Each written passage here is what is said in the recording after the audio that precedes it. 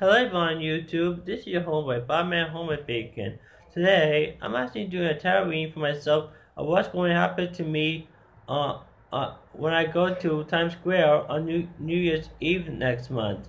So anyway, um, every year, I, I always go to Times Square on New Year's Eve to see the baseball drop. And I've been doing it for about by 11 years.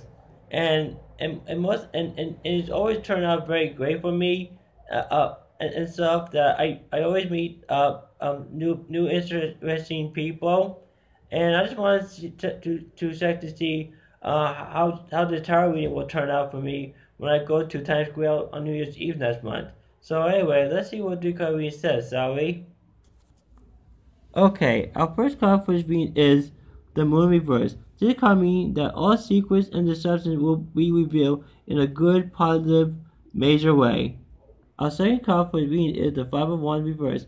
This card means that there no longer be conflict and arguments between myself and the and the other people um, who, who's visiting Times Square to see the baseball drop next month.